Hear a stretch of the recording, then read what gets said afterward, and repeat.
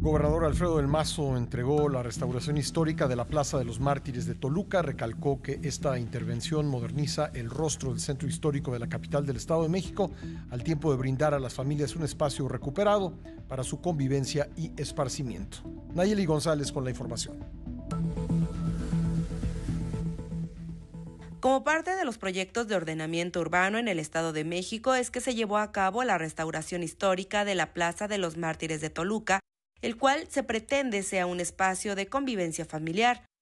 La obra fue entregada por el gobernador Alfredo del Mazo, quien aseguró que es un espacio totalmente accesible para que las familias puedan recorrerlo, hacer uso de las instalaciones y fomentar la cultura, así como las tradiciones en la capital del Estado de México.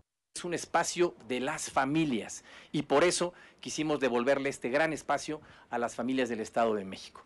Eh, es un gran orgullo poder el día de hoy estar eh, entregando esta obra, culminando esta restauración histórica de la Plaza de los Mártires aquí en la capital del estado. La restauración de la plaza permitió recuperar el diseño que tuvo en el siglo XIX, dotándola de elementos urbanos modernos. Sin embargo, también permite la modernización del centro histórico de la capital del estado, pues forma parte de un corredor turístico y cultural muy atractivo. Cada vez que eh, veamos este espacio, pensemos siempre en el bienestar de las familias mexiquenses, en la unidad del Estado de México eh, y en que siempre sepamos anteponer cualquier interés eh, para beneficiar el bien y a las familias de nuestra entidad.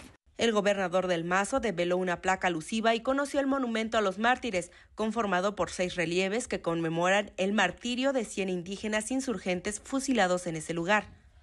Como parte de estas acciones, también se aportan al Parque Fundadores y a la Plaza de los Mártires más de 38 mil metros cuadrados de áreas verdes.